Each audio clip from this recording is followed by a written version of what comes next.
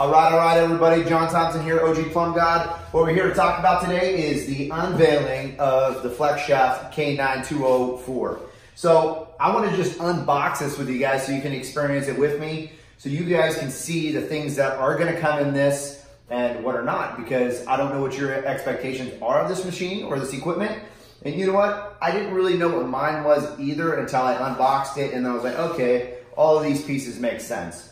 So this is, like I said, the, the uh, K9 204. And what this 204 means is that it's designed for a two to four inch drain. So can you go through something smaller? Uh, it's possible, but it's not designed for those, those uh, size lines. So we want to stick with what the manufacturer specs are designing this thing to do.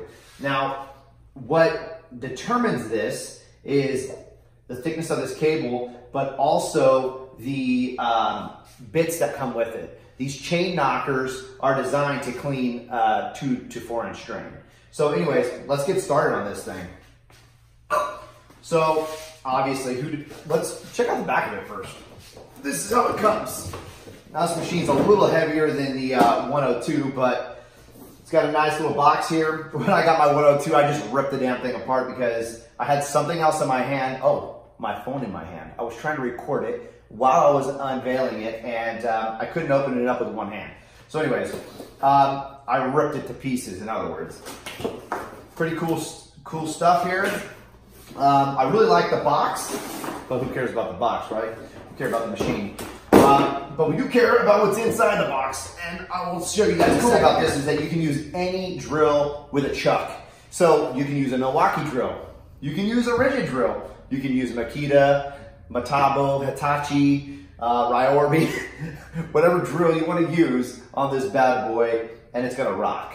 Um, I would say I do like the impact on it, um, or I would use what I'm using currently is the uh, M18 one key um, hammer drill. So I can change it to whatever I want and set it with my app on uh, my RPMs and stuff like that. So that's what I'm using. I really like that that uh, that drill for this machine. So you basically just put it right on here and you can even put a little extension on if you want it to get it out a little bit further because I feel like my drill seems like it's a little too close whenever I use my, uh, my 102. But uh, you'll want to cut this off. Let's see what we can do here on that. Um, we open this up.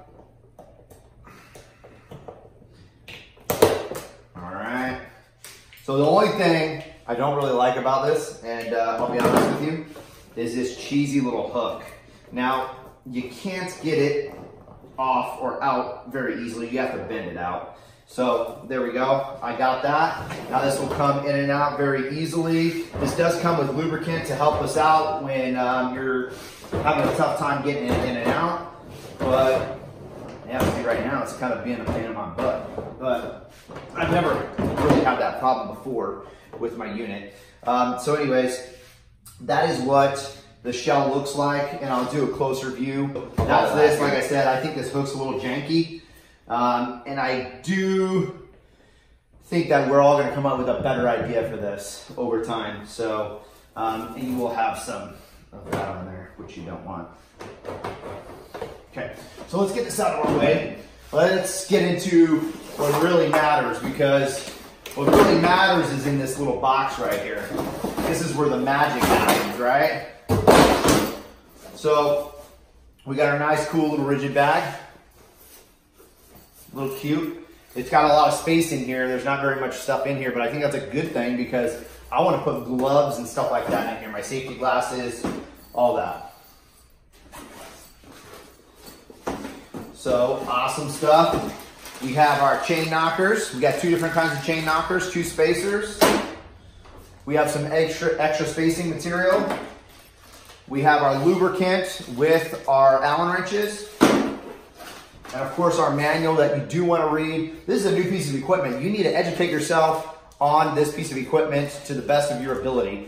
And if you need help, DM me or DM anybody else that has this machine so you kind of know what we're all doing to A, maintenance this thing and keep it running more efficiently over time. And if we've had any quirks during uh, our experiences, which we have. So we can talk about that in another video. But anyways, cool little bag. I would recommend throwing, uh, this, these are the gloves that I use. These are uh, Black Advanced, um, Advanced Nitro gloves. So I like throwing these in here along with all my stuff. This stuff's cool. Anyways, we'll get a closer look right now. So first thing is we have our chain knockers. Let's go ahead and open this up.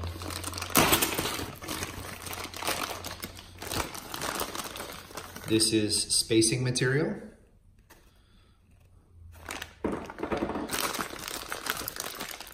We have one chain knocker with two chains on it.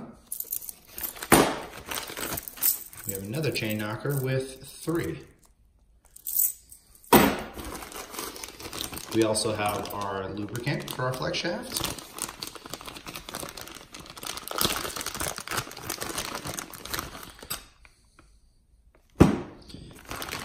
And two Allen wrenches for our set screws.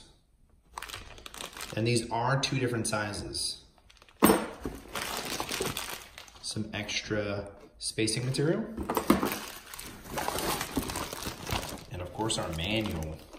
Ooh, manual, manual, manual. Okay, so what we did here is we got all the different size chain knockers that you're gonna see between the K9 204 and the K9 102.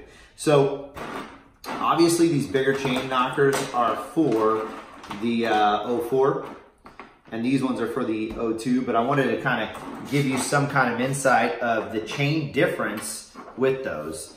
Now these spacers and um, well, they're a spacer, but they also are gonna protect your cable. So you don't want your fresh material getting all cut up and messed up. Let's say you're in a pipe and you're cabling really fast. You don't want the wear being on um, your cable here. So that's what this sleeve is gonna do is it's going to protect that from happening or restrict it as much as possible.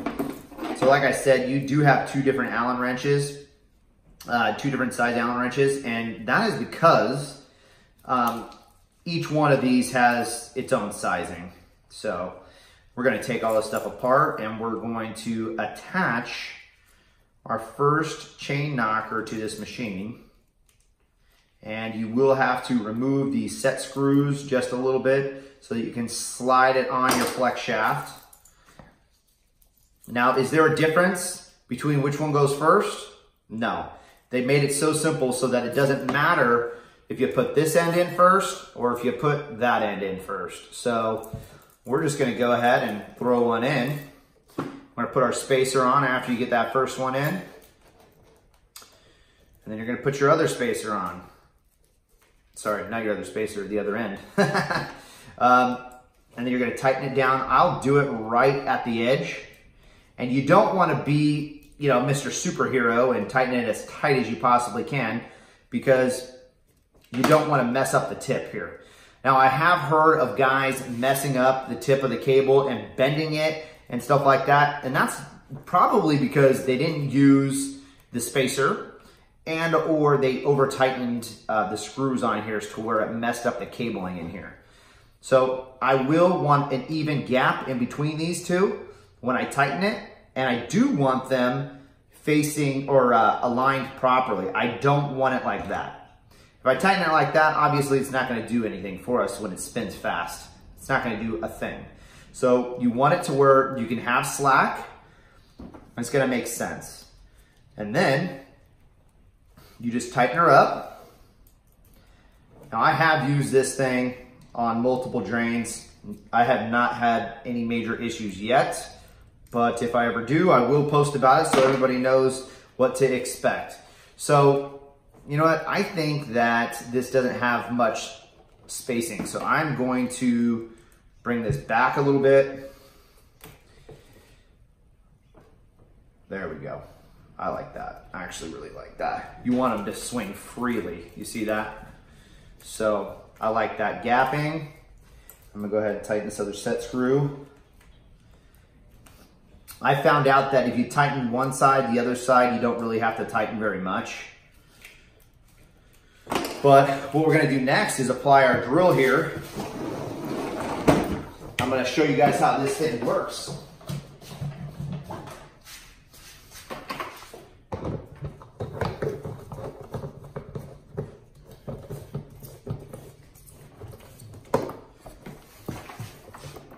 Tighten my chuck.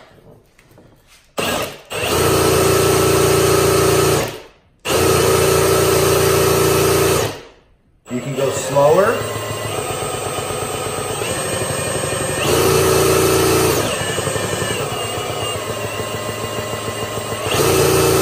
The faster you go with your drill, the wider these chains are gonna expand.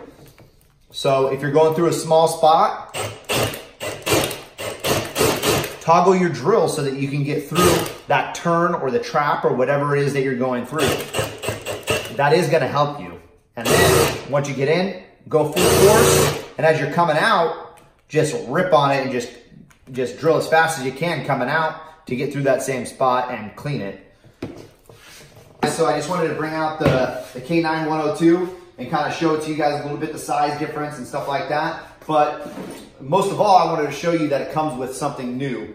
I, I, definitely think this is a tool to use, not just a, a part, but the smaller flex shaft comes with these trap arms with a hole in them. Now what that's designed to do is for you to run your flex shaft as you're running water at the same time, right? We always want to run water and cable at the same time so that we can clear out these drains or, you know, while you're descaling or degreasing. I would always recommend to get the line open first and then throw on your trap arm and uh, cable again while you're running cold water. I like cold water. I don't like hot water. I like cold water because if you use if you use hot water, it's going to liquefy the grease and get all over your equipment. But not just that, is it's just going to slowly seep down the drain and get clogged somewhere else. It's going to dry up and clog somewhere else. So I like using cold water, and while I'm descaling, it's going to clump and it's going to be running out the line and uh, hopefully go to the city, all the way to the city main. That is our main objective, is to get everything out to the city main, let the city deal with their maintenance issues and stuff like that. I'm not saying I don't care about the city lines. I absolutely care about the city lines. But by using cold water, in my opinion, there's many opinions, um, that is gonna do what's best for your customers. So I'm gonna take a, I'm gonna show you guys a little closer of the size differences. That's what you got there. It's gonna slip, sit pretty slick in your truck. It's got really nice feet uh, or legs or whatever you wanna call these, but uh, they sit pretty nice and they don't roll around in your truck. So there you have it. The K9 102, K9 204. All right, everybody, thank you for watching today. I hope you guys enjoyed the unveiling of the Ridgid Flex Shaft. Stay tuned for some more cool stuff.